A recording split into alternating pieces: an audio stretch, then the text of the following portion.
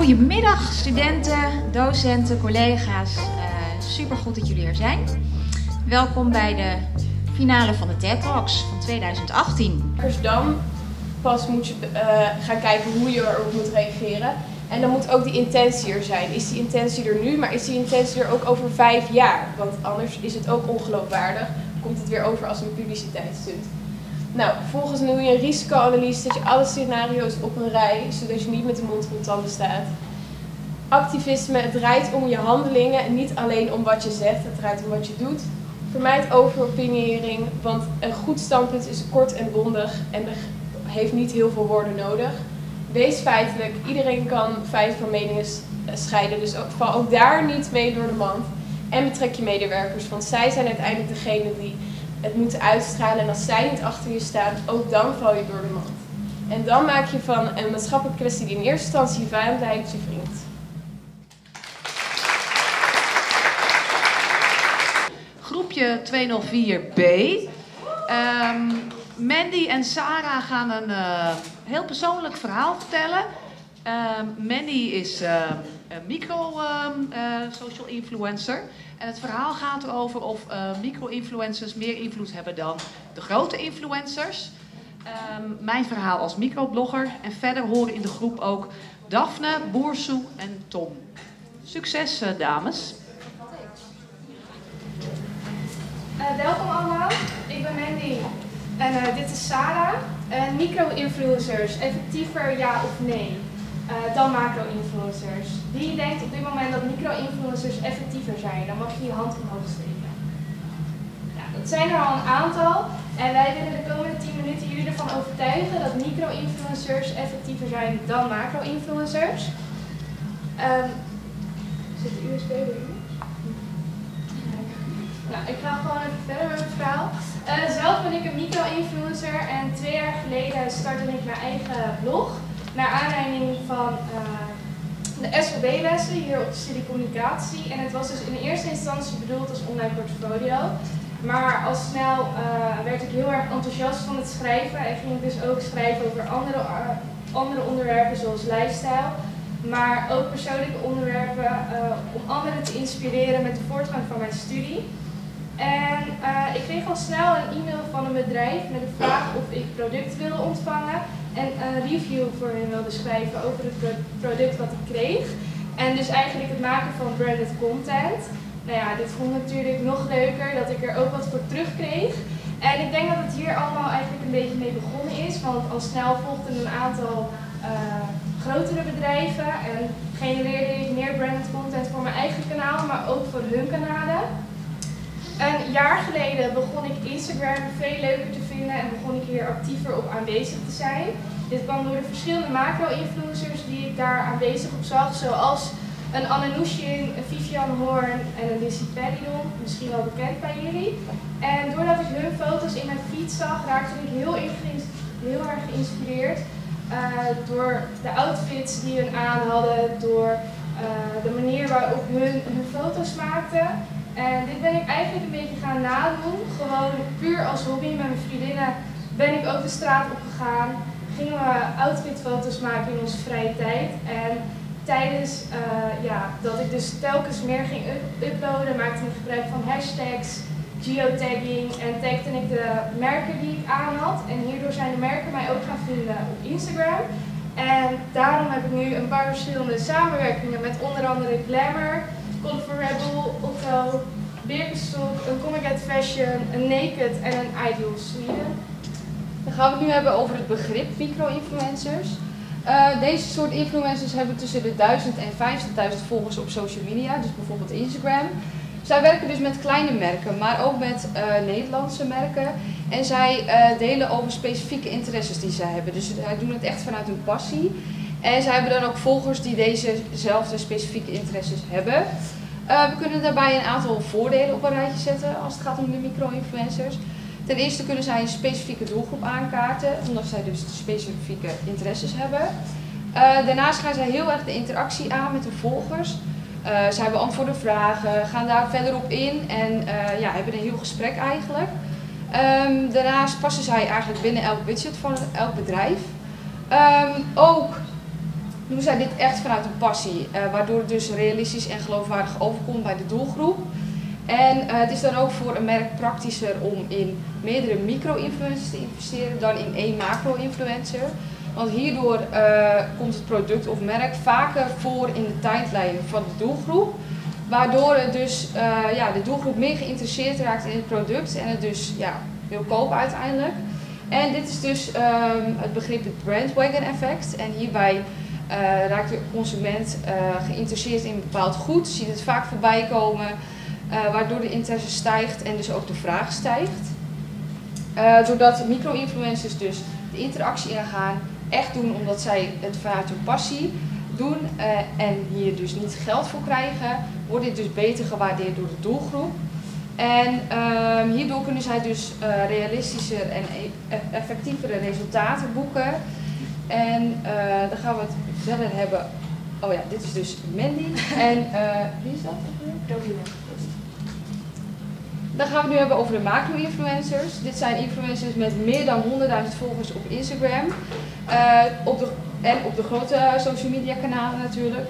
En zij werken met uh, high-end fashion merken.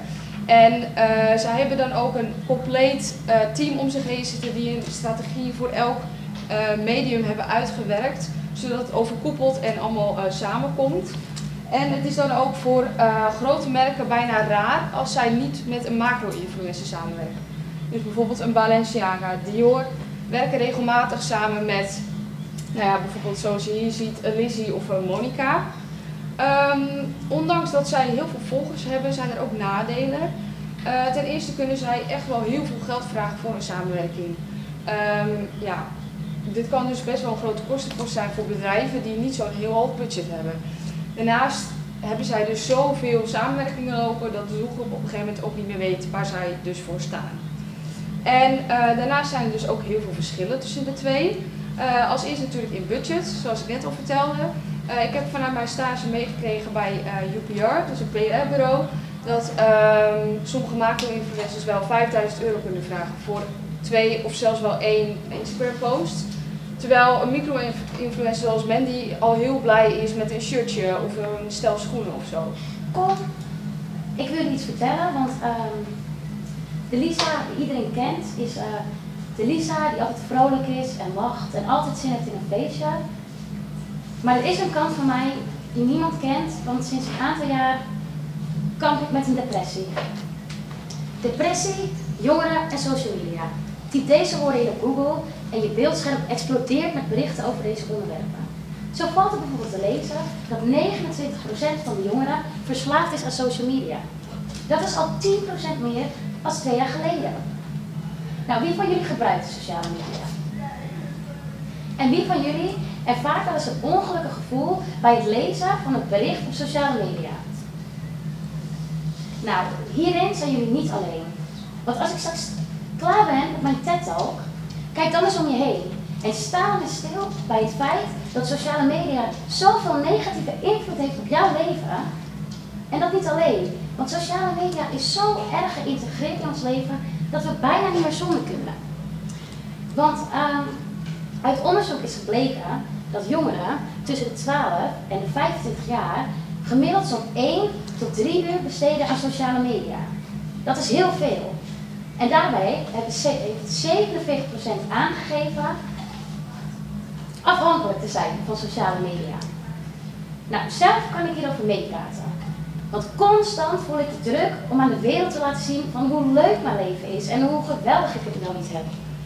Zo laat ik dan bijvoorbeeld zien dat ik op OpenR ben geweest en oh, wat heb ik het leuk en wat heb ik het naar mijn zin. En hier, nou, ik was reisleider in Gersonisos en nou, doe I need to say more, nooit meer naar huis. En hier, happy mind, happy life, ook nooit meer naar, naar huis. En dan hier sta ik gewoon bij ons in de plaatselijke kroeg en uh, gewoon een feestje te vieren, denk ik. En dan zegt er iemand, ook echt niemand krijgt die lach van jouw gezicht, hè. En dan zit ik thuis en dan denk ik, oh man, je moest eens weten. Dit is echt alleen maar schijn. Want dit zijn de foto's van de leuke dingen in mijn leven. Maar er zijn de momenten waarop ik verdrietig ben, die laat ik niet zien. Want pijnlijke, verdrietige, stomme momenten, die worden niet gedeeld op sociale media. En jongens, Dat is logisch. Want door die positieve berichten laat je een kwets, als je negatieve berichten plaatst op sociale media, laat je een kwetsbare kant van jezelf zien. En zo gebeurt het dat je een vertekend beeld geeft van jouw leven. Nou, door dat vertekende beeld van iedereen creëer je een angst in jezelf. De angst om niet mooi genoeg te zijn, niet goed genoeg te zijn of niet succesvol genoeg te zijn. Daarnaast creëer je een angst dat je dingen moet missen. Dat wordt ook wel fear of missing out genoemd. En door het gebruik van sociale media wordt die angst alleen maar groter. Nou, volgens de Landelijke Vakbond van Studenten is 49% van de jongeren wel eens depressief geweest. Dat zou betekenen dat ik dus niet alleen ben en dat de helft van ons hier wel eens mee te maken heeft gehad. De helft jongens, dat is echt heel veel. Nou, sociale media en depressie, die twee woorden samen, dat is een taboe. En dat, terwijl er wordt beweerd dat in 2030 sociale media, de of depressie, de meest voorkomende aandoening zal zijn in hoge inkomstenlanden zoals Nederland. Nou, ik vind dat het tijd is om dit onderwerp bespreekbaar te maken. En ik vind ook dat het tijd is dat we hier met z'n allen iets aan gaan doen. Nou, ik wil jullie bedanken dat jullie hebben geluisterd naar dit verhaal. En ik zeg expres dit verhaal, want gelukkig is het niet mijn verhaal. Maar het is wel het verhaal van duizend andere jongeren zoals jij en ik. En daarom stel ik voor dat we met z'n allen dit taboe breken. En dat we met z'n allen elkaar respecteren en dat we ons niet meer hoeven te schamen. Ik dank je. Dan kunnen we beginnen. Ik wil jullie graag vertellen dat er in heel Nederland ongeveer 1,6 miljoen mensen doof of slechthorend zijn.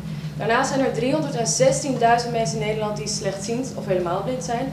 En ook nog eens 250.000 mensen tot 300.000 mensen die niet kunnen ruiken, wat dus ook heel vaak samengaat met minder kunnen proeven. Mijn moeder is een van die 1,6 miljoen dove mensen. Zij heeft op haar derde een eh, heftige hersenvliesontsteking gehad, waardoor zij helemaal niks meer kan horen. Dus ook echt helemaal niks meer. En zij is sinds die tijd bezig geweest met het omgaan met haar doofheid. En mijn opa en oma hebben haar altijd geleerd om hiermee om te gaan en zich niet te laten beperken door, deze, door het missen van een zintuig. Een heel mooi voorbeeld daarvan is muziek. Mijn moeder is een ontzettende muziekliefhebber en dat klinkt heel gek, want ja, hoe ervaar je muziek als je doof bent? Maar mijn opa heeft haar dus altijd geleerd om de trillingen te voelen van een box. Want we kennen ze allemaal wel, als je de muziek lekker hard zet, dan voel je de box. En zo kan zij dus bepalen of zij muziek wel of niet mooi vindt. Ik word daardoor nachtenlang geteisterd door dus keiharde muziek, maar ik neem dat dan maar voor lief voor haar. En uh, zij heeft bijvoorbeeld ook veel meer waarde aan videoclips. Want die videoclips geven haar veel meer ervaring aan een nummer. En zo kan zij een nummer veel beter ervaren en nog meer bepalen of ze ervan kan genieten of niet.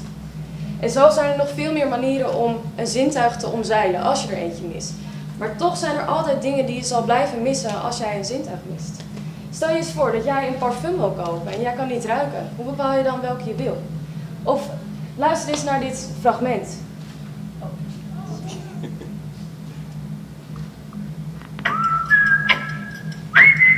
Want is er iemand die kan gokken waar dit vandaan komt, dit geluid?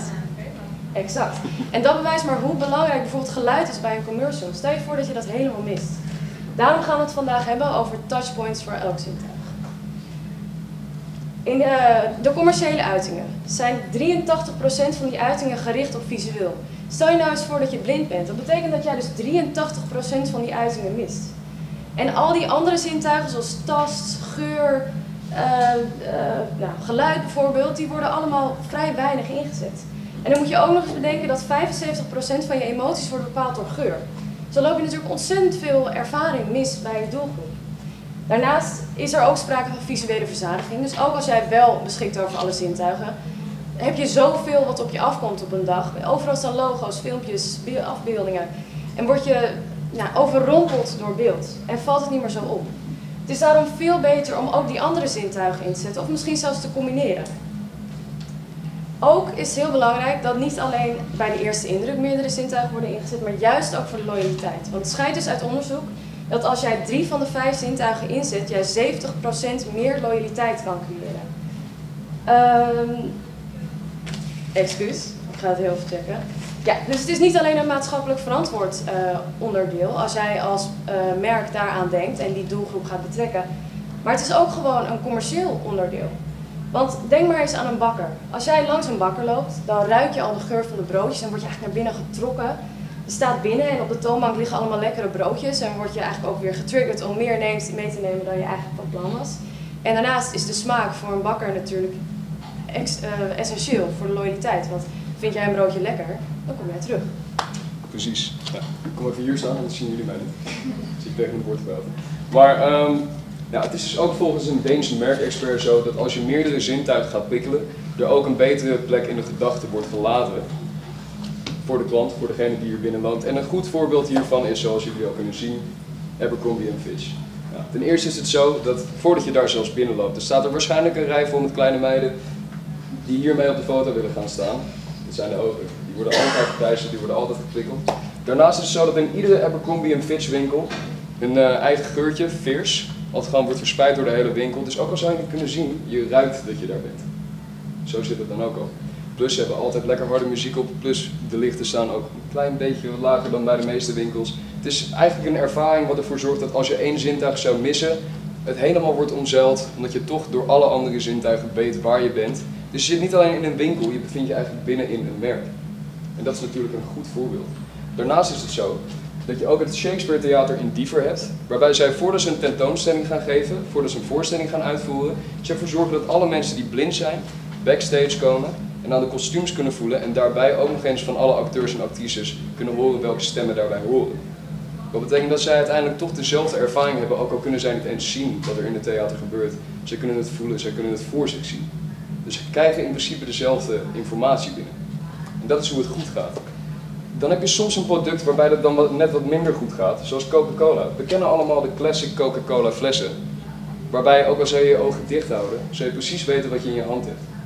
Zo zat het gewoon vroeger in elkaar, altijd zo'n mooie glazen fles, wat nu alleen maar als limited edition wordt uitgebracht. Nu helemaal vervangen met de generieke blikken en flessen die even goed van Pepsi zouden kunnen zijn. Of even goed van 7-Up zouden kunnen zijn.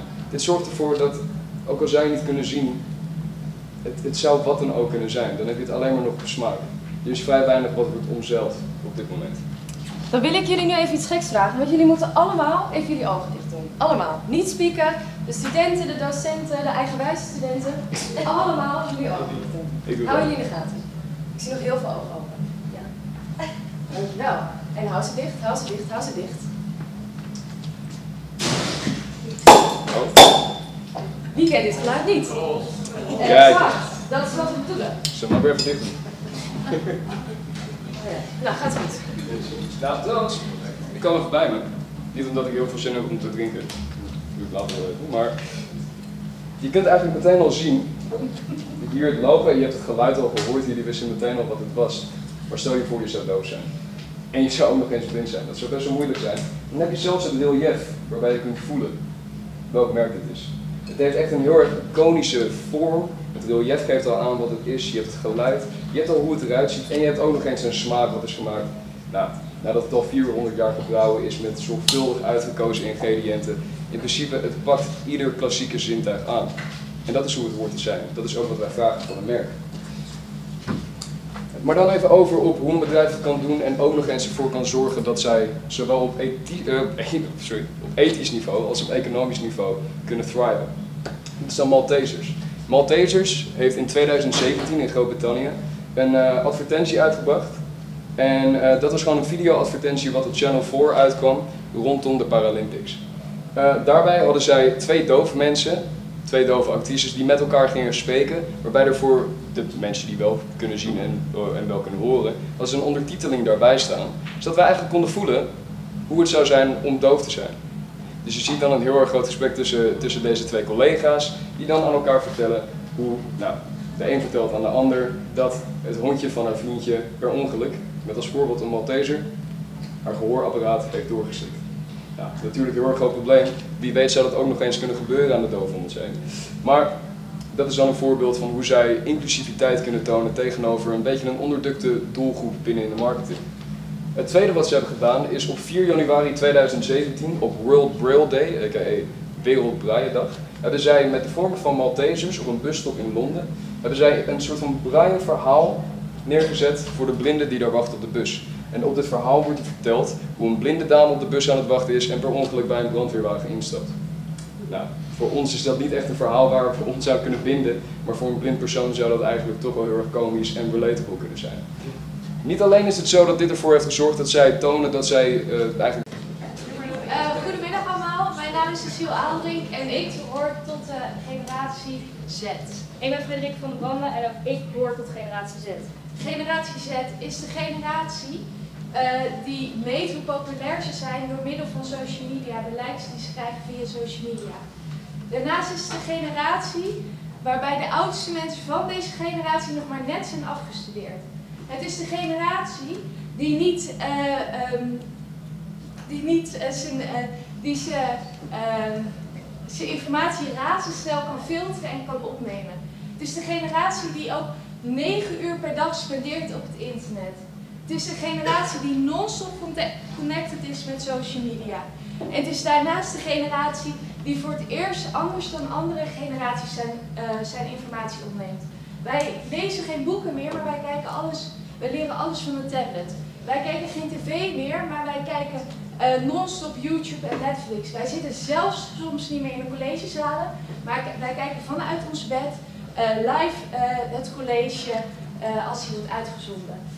Wij zijn de generatie die in 2020 de grootste generatie is op deze hele aardbol. En wij zijn daarnaast de generatie die het meest onbereikbaar is uh, voor marketeers. Um, en wij worden als generatie al snel ge, uh, gestopt in het hokje van millennials. Maar er is echt wel een degelijk verschil tussen millennials en generatie Z.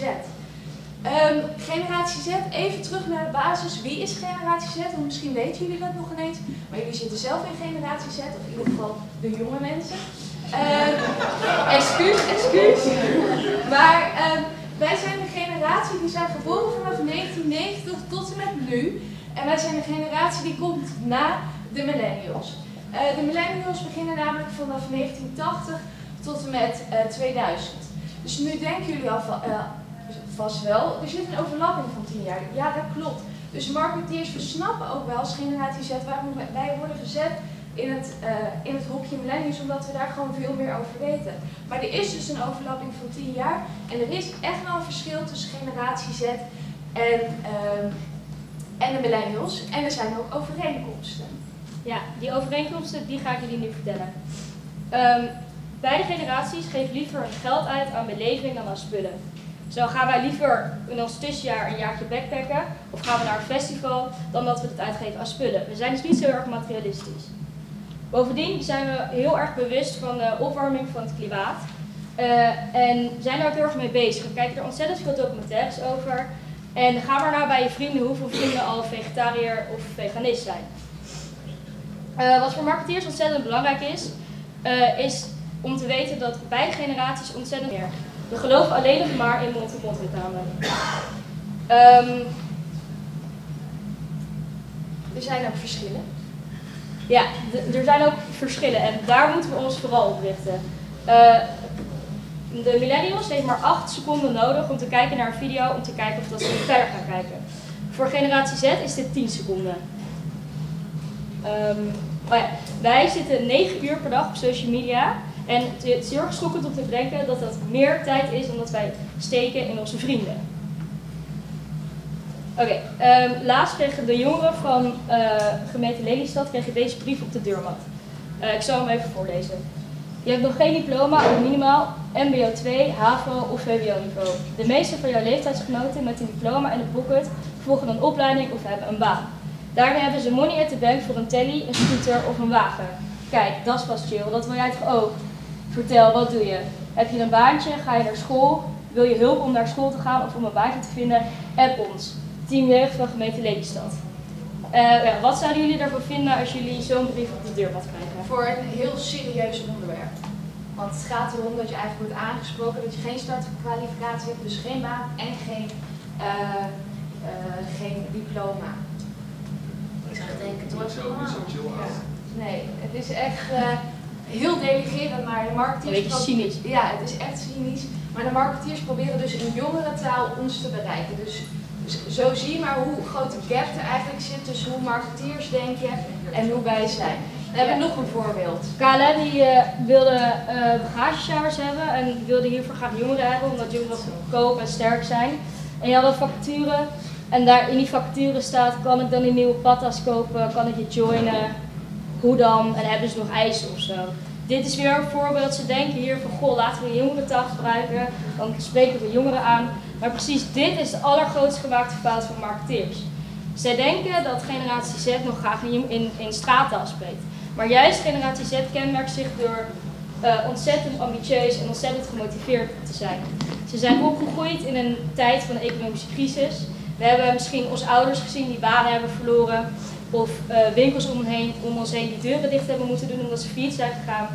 Eh, we weten hoe het is om geen geld te hebben of om zorgen over geld te hebben. En bovendien hebben we ook een aantal terroristische aanslagen meegemaakt. Waardoor we ontzettend bewust zijn van het onre- onrecht en het ongeluk in de wereld. Waardoor we juist ontzettend gedreven zijn om een goede studie te doen, om later een goede baan te krijgen, om gelukkig te worden. En daarom slaan marketeers met straattaal volledig de plank mis. Eh, dit is niet de enige misvatting eh, die eh, een marketeer of überhaupt de maatschappij over onze generatie he- heeft. Want zo wordt altijd tegen ons gezegd, jeetje, generatie Z heeft zo'n enorme korting spanningsboog van maar 8 seconden, heel veel desinteresse, lui, nou, noem het maar op wat wij allemaal eigenlijk tegen ons aan krijgen gegooid. Ehm, dat klopt, wij hebben een hele korte, eh, eh, korte van maar 8 seconden. Maar dat komt omdat wij zijn geboren in een informatiemaatschappij. Wij krijgen non-stop een overkill aan informatie, aan content, noem het maar op. Je- hoeft maar even de straat op te lopen of je krijgt al 100 merkuitingen of, je, of eh, reclames. Alles om je heen draait om informatie, informatiemaatschappij. En wij zijn als generatie heel erg opgegroeid in deze informatiecultuur en zijn daardoor eh, eigenlijk sterren in het filteren van deze informatie en heel, heel snel beslissen of deze eh, informatie, hebben we dit nodig, is het efficiënt?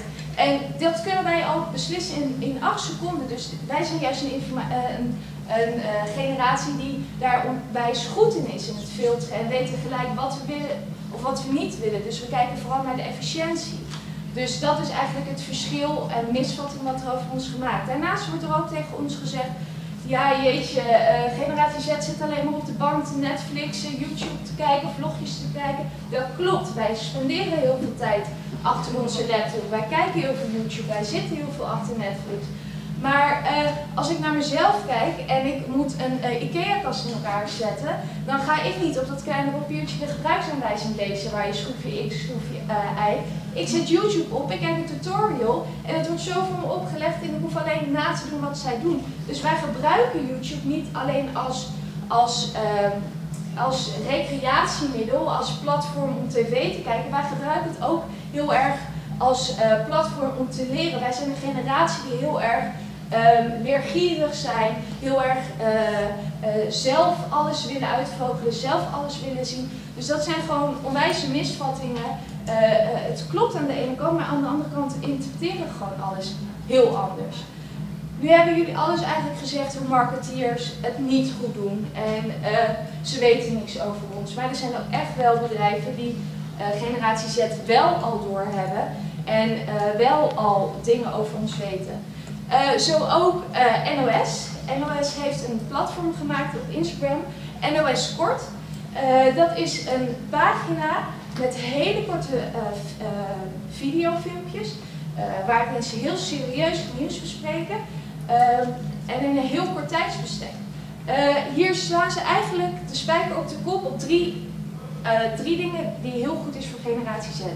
Het zijn korte videocontent. We kijken het liefst als generatie naar videocontent. Het is een serieuze taal, dus wij worden niet als in Jip en Janneke taal alles voor ons uitgelegd, want we zijn echt wel een slimme generatie. Eh, daarnaast is het ook eh, op social media, op Instagram, een, een platform dat wij onwijs veel gebruiken. Eh, en gewoon speciaal gemaakt voor jongeren. Dit is zelfs zo'n goed account dat deze, dit account vorige week, deze week zelfs nog, het beste account, de beste social award voor account heeft gewonnen.